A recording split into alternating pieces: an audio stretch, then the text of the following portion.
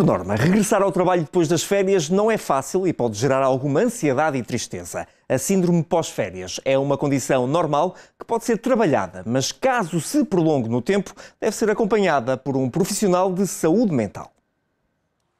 A tranquilidade de um dia de praia contrasta com a azáfama de um dia de trabalho. Regressar de férias pode ser complicado mais para uns do que para outros, mas a ansiedade e tristeza trazidas pela retoma da rotina é um pouco generalizada.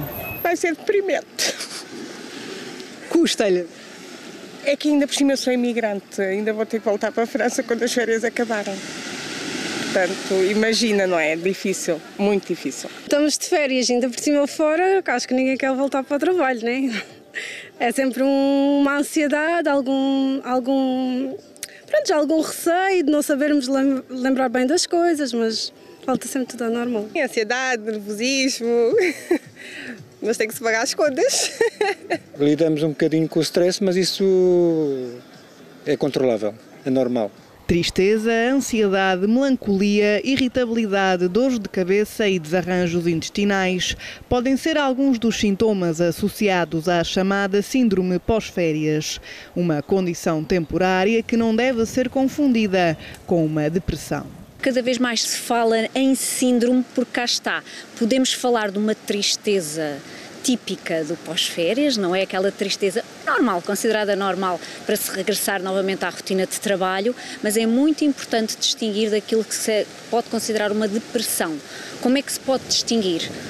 A continuidade no tempo. Não é esta tristeza, esta melancolia, estes pensamentos mais tristes relacionados com o voltarmos à rotina de trabalho, independentemente do que fazemos, uh, se continua durante, uh, continua durante muito tempo semanas, aí já estamos a falar de um quadro sintomatológico mais grave, nomeadamente uma depressão, e aí um acompanhamento psicológico naturalmente se torna cada vez mais importante.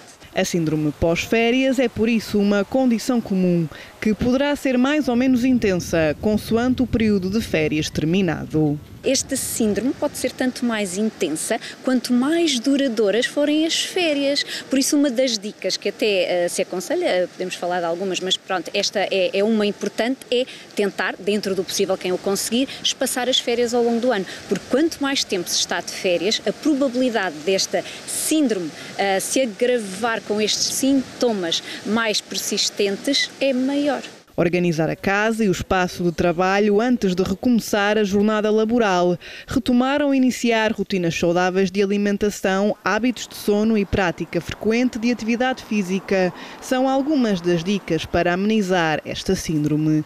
Planear as próximas férias, viagem ou uma simples escapadinha de fim de semana poderá também ajudar a ultrapassar a ligeira angústia provocada pelo regresso à normalidade. O nosso remédio é pensar trabalhar para as próximas férias e aí a gente consegue resolver o problema de, dessa ansiedade que possa surgir. Está mais do que provado de que planear as férias seguintes, ou um fim de semana, eh, uma saída, ou mesmo um fim de semana diferente uh, seguinte, motiva também. E tudo o que é motivante ajuda-nos também a gerir eh, essa mesma ansiedade, essa mesma angústia. O stress e um ritmo de vida acelerado podem agravar estes sintomas, com a síndrome pós-férias a ser justificada também e principalmente com a insatisfação laboral. De recordar que esta é uma condição temporária e que se verificar o agravamento dos sintomas por um longo período de tempo, estes poderão estar relacionados com outro tipo de diagnóstico, como uma depressão algo que deverá ser acompanhado por um especialista.